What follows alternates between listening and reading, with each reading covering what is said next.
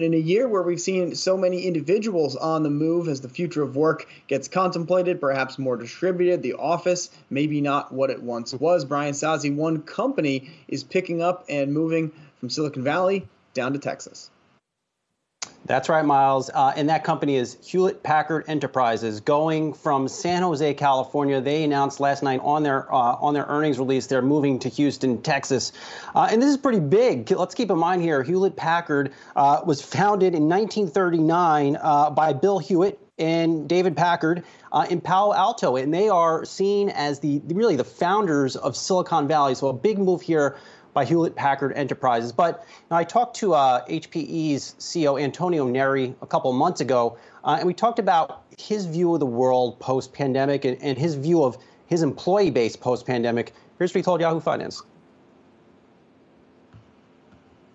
We're going to live in a much more distributed enterprise than ever before.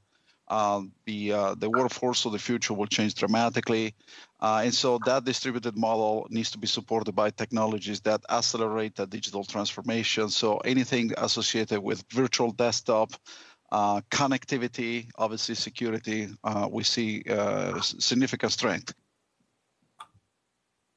And really, what Neri is, is saying here, uh, Julie, is that we're going to be working potentially from anywhere after we all get vaccines. It's not necessarily just our home. So I'm really not surprised to see them do this. Also, keep in mind, HPE has been aggressively cutting expenses. They, by the end of fiscal 2022, they will have cut $800 million in expenses out of their model compared to fiscal 19. Now, no layoffs is part of this move, but this is a company that remains very focused on cutting expenses improving their profits, and moving forward.